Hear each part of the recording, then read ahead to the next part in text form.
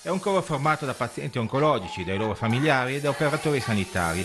È formato da una ventina di elementi, presenta un repertorio che va da Mina a Lucio Dalla fino a Marco Mengoni e Diodato, con la missione di trasmettere un messaggio di forza e di speranza, sostenendo la ricerca scientifica. Il FAC Cancer Choir nato da un'idea della biologa Stefania Crillari e dell'oncologa Federica Grosso, dopo una serie di tappe in diversi comuni della provincia è arrivato anche a Dovada, ospite dall'associazione Vela. Il coro è nato nel 2019 su una nostra iniziativa, su una mia idea un po' pazza da lei subito realizzata ed è un coro che unisce pazienti oncologici, familiari, caregiver ma anche operatori sanitari e vogliamo trasmettere un messaggio positivo.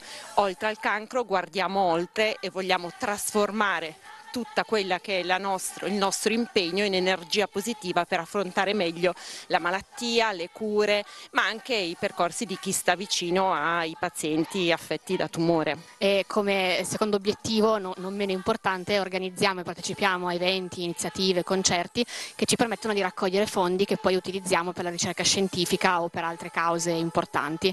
E siamo qua oggi a Ovada grazie anche alla nostra corista di Ovada che è Selene. Ci tenevo tanto che il coro arrivasse anche qui fino a Ovada, noi siamo molto ad Alessandria, a Casale, ma insomma speravo che in qualche modo il coro venisse conosciuto anche in questa zona perché è fonte solo che di, di gioia, nonostante tutto ci permette di, di sfogarci e porta soltanto emozioni positive, quindi sono molto contenta.